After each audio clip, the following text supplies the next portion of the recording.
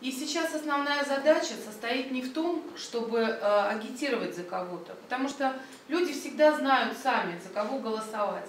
Они, э, как правило, голосуют сердцем. Сейчас основная задача в том, чтобы люди пришли на выборы. Почему это важно?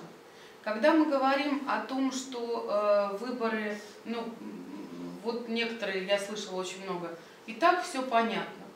А, и так вот зачем наш голос ничего не значит. Я не в первый раз повторяю о том, что голос каждого человека он значит многое.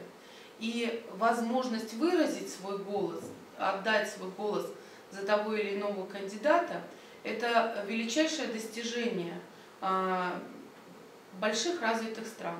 К нам приезжали международные наблюдатели – на выборы в 2017 году, 10 сентября 2017 года. И они все как один отметили, а это была Италия, Испания и Франция. И они все как один отметили, что такой высокой организации выборов, такой прозрачности и такой открытости нет ни в одной стране. То есть ни в одной из этих трех стран э, нет такого, чтобы о кандидатах выставлялись полные данные. То есть они о кандидатах выискивают потом в интернете сведения, и то после выборов. Нигде нет такого, что ты заходишь на избирательный участок, а у тебя абсолютно благоприятные, комфортные условия, что тебя встречает э, участковая избирательная комиссия, которая приветливая, которая улыбчивая, стоят прозрачные абсолютно урны, и э, каждый видит, что он э, опускает бюллетень э, не куда-то, а именно в прозрачную урну соблюдена тайна голосования. То есть сейчас создаются максимальные условия для того, чтобы люди приходили на выборы. Почему это важно? А, тоже а, иногда эм, встречается фраза о том, что это наше право. Наше право, потому что в Конституции, статья 32 Конституции, все прекрасно помнят о том, что а, там написано, каждый имеет право избирать и быть избранным.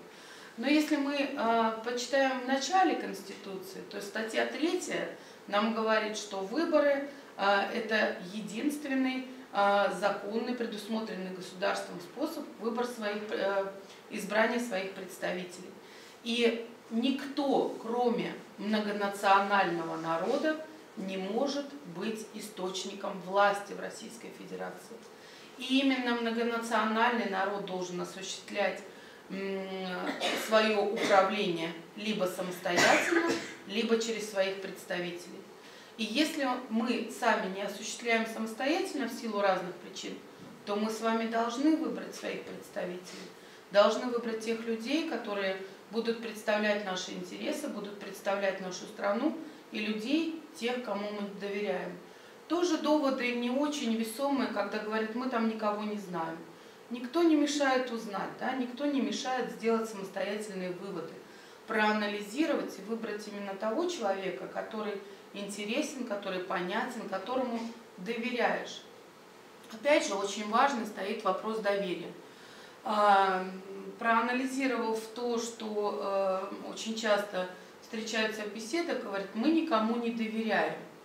Мы не доверяем государству, мы не доверяем стране, мы не доверяем ни депутатам, никому мы не доверяем. Вы знаете, я э, проанализировала очень много работ по доверию. В какие времена самая высокая степень доверия? Неважно кому, к себе, к друг другу, к государству. В трудные, совершенно верно. В трудные, тяжелые времена, когда нужно максимально мобилизоваться, когда э, люди вынуждены жить э, и доверять друг другу. Так зачем ждать э, тяжелых времен?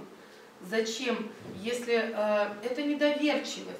По 12 марта территориальная избирательная комиссия, многофункциональные центры, единые порталы госуслуг оказывают услуги по заполнению заявления, которые приходят, э, я объясню просто, что это такое. Э, заявление называется о внесении избирателя в список избирателей по месту нахождения. Это значит, что любой человек, который 18 марта не будет находиться по месту своей регистрации, а будет находиться в каком-то другом месте, а мы знаем, что у нас есть место нахождения, место преимущественного пребывания и так далее. Так вот, если человек не планирует по месту регистрации находиться 18 марта, то он может подать заявление. Что ему нужно для того, чтобы подать заявление? Если он приходит вживую, в территориальную избирательную комиссию, либо э, в многофункциональный центр, ему нужно иметь при себе паспорт и нужно знать, куда он отправляется или где он находится. Причем, куда он отправляется, э, нужно знать э, город, населенный пункт, и желательно еще знать улицу, чтобы комиссии могли выбрать ближайшую к месту нахождения комиссию, чтобы человек, например, находясь в Астрахани, не искал избирательные участки потом через весь город. Поэтому вот эту информацию нужно знать. Даже если человек э, идет путешествовать с рюкзаком, ему надо примерно все-таки знать, в каком он городе остановится 18 марта и будет находиться с 8 часов э, утра до 8 часов вечера. То есть все до 12 марта вся страна работает на то, чтобы люди могли реализовать свое право на участие в выборах и могли проголосовать там, где им удобно, где бы они ни находились, в любой части Российской Федерации.